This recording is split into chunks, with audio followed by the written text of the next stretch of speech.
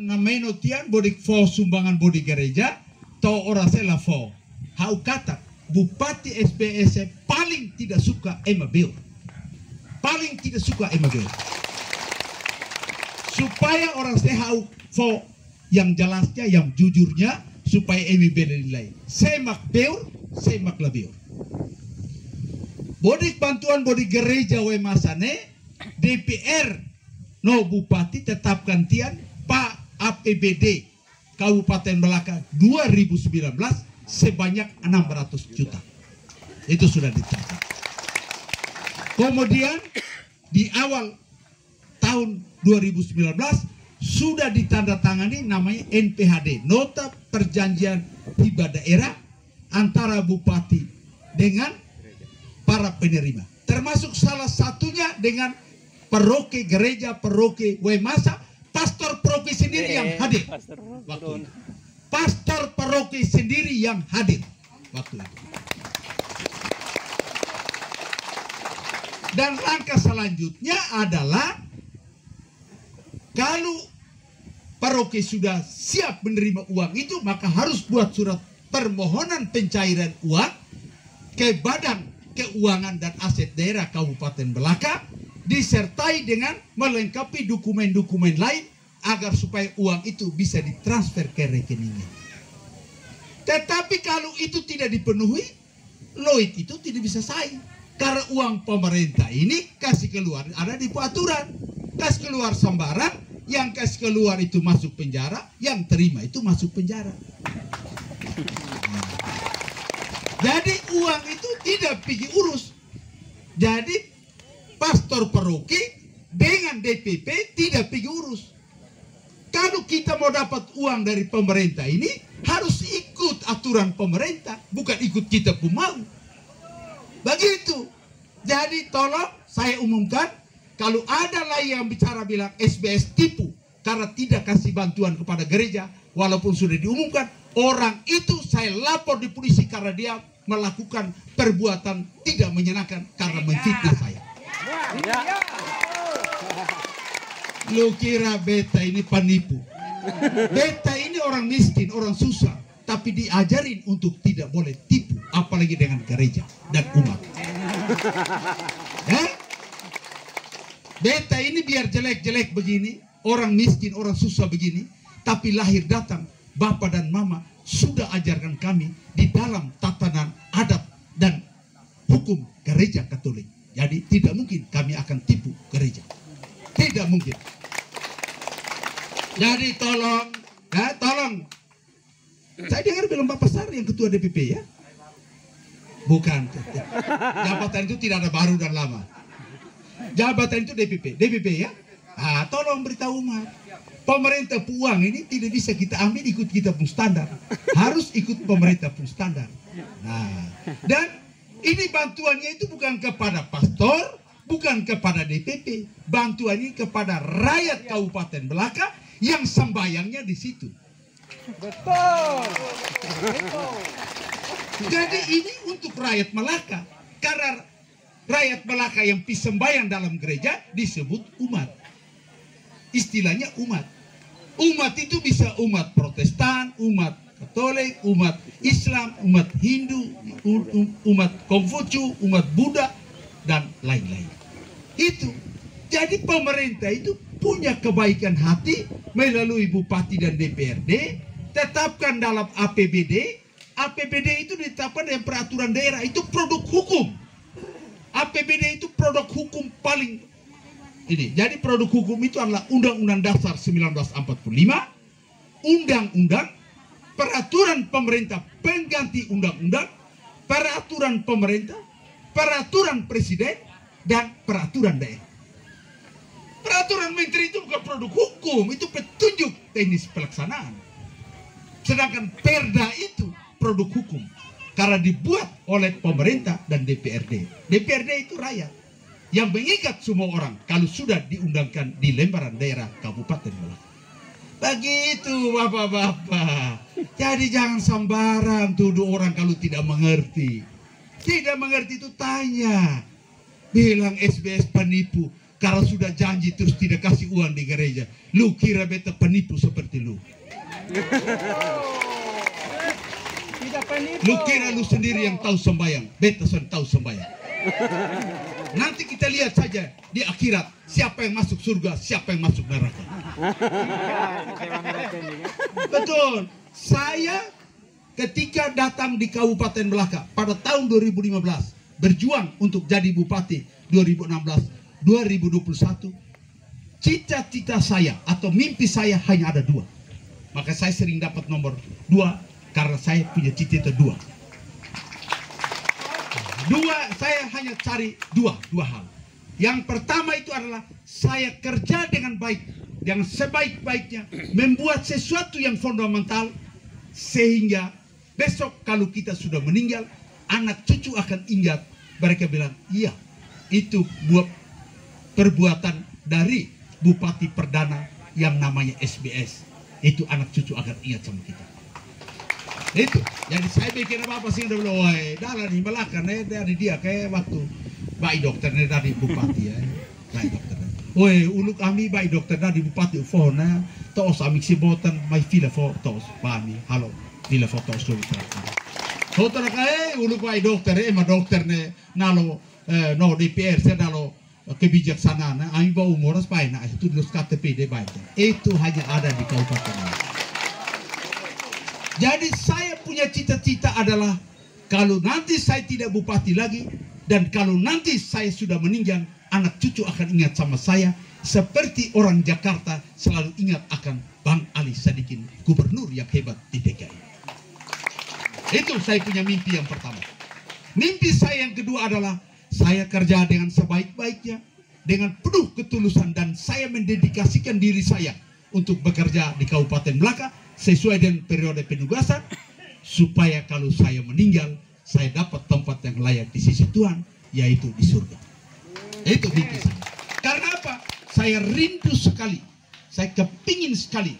Saya ketemu saya punya bapak dan saya punya mama. Karena mereka sudah meninggal dan saya yakin sekali bapak dan mama masuk surga karena mereka mendapatkan ganjaran yang baik karena hidup dalam kemiskinan dan kesusahan tapi tanggung jawab dan mengurus DPR. 12 anak Tetapkan. sebaik-baik. bahwa gereja Kamana eh, Waimasa dapat uang bantuan 600 juta. Dicek prosedurnya sudah betul, sudah dimuat dalam Perda APBD, sudah. Tanggung jawab Yesus selesai.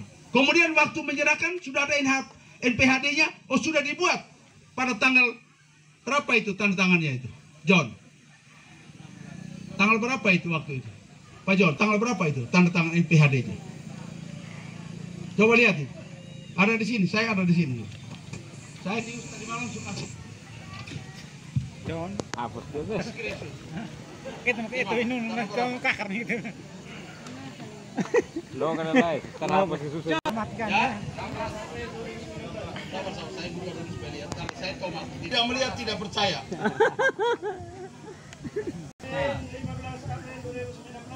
Hari Senin tanggal 15 April 2019 kami sudah tanda tangan namanya MPHD. Deh reba. Deh bisa. Lalu rahapir. Ini lihat. Saya serahkan sebelahnya Romo Deken, sebelahnya Pastor Peruki Wemasa. Su terima itu dokumennya. Tinggal pergi cairkan dengan mengurus di di Keuangan. di eh, keuangan. Su tanda tangan ini. Ini lihatin. Ini. Ini lihatin. Ini lihatin. Lihatin. Mayre, mayre, mayo kurumun mo soy, mayre ba? Mayre ba? Ne, ne, ne, reba. Ne. Tau faru may tanese. Ne sembalo ne romo deken. Eh mayre ba? Ne, eh mayre ba? Mayre, mayre la rakau beun. Mayre. Mayre, saya mak beun. Fudi malamatan eh. Mayre, mayre, mayre ba ne? Ne, ne, ne, ne. Betul itu. Ah, ah, ne, ne, Tidak ne, penipu. Pemkap Malaka, Mala, oh maaf, ne, maaf. Pemkap Malaka mengalokasikan dana hibah kepada gereja Katolik, gereja Protestan dan klinik Kabupaten Melaka sebesar 4,4 miliar. Makanya dilengkapi tuh baru terima uangnya tuh. Yang Nurobo kami sudah pergi resmikan tahun lalu. Nurobo. Nah, ini sudah ada semua. Jadi saya tidak tipu. Ini ada ini. dokumen semua ada. Jadi sebenarnya tahapan kedua itu adalah dari Peroke mengajukan permohonan pencairan uang kepada Badan Keuangan. Nah, harus kasih halo surat permohonan wah dulu kami sudah kirim itu proposal untuk penetapan anggarannya proposal dengan pe- permohonan pencairan uang beda. Dia kira uang negara pakai sembarang ikut tipu mau. sudah itu baru omong di mana-mana bilang bupati tipu. Saya tipu kau saya untuk apa? Saya mau tipu itu seorang nona cantik yang hatinya baik. Saya kalau mau tipu itu saya tipu seorang nona yang hatinya baik yang dia mencintai saya dan saya pikir-pikir begitu eh ada lima macam tipu yang tidak berdosa salah satunya adalah tipu seorang kekasih kepada kekasihnya Contoh dia bilang gini, Nona Adinda yang cantik, kau nikah dengan saya, saya tidak pernah akan omong kasar terhadap kamu. Begitu habis nikah, besoknya diterantuk dia bilang, mata taruh di mana. Ah. Itu Nona dia, itu Nona lihat tangi, dia bilang, kakak, kau dulu bilang tidak akan marah saya kalau kita dua nikah. Dia bilang waktu itu kan saya mabok. Loh, waktu itu kakak saya lihat ada minum teh pucuk bukan minum eh sopi. Dia bilang waktu itu saya mabok cinta. Jadi orang mabok cinta tidak bisa dituntut. Begitu. Jadi, terus lagi dia janji dia punya nona. Dia bilang nona, kau nikah dengan saya. Besok saya akan buatkan, saya akan bawa kau pesiar ke Hawaii. Kau akan lihat itu pukulan ombak yang menderu-deru membuat kita hatinya berdebar-debar. Begitu sudah dua tahun dia bilang kakak, kapan kita ke Hawaii? Dia bilang kau jangan percaya dengan omongan orang mabok. Eh, dulu kakak ada mabok. Ya saya minum air putih, tapi waktu itu saya mabok asmara karena melihat kamu. Weh, ini Pak Edi, bu anak kan anda itu di mata begini dia bilang.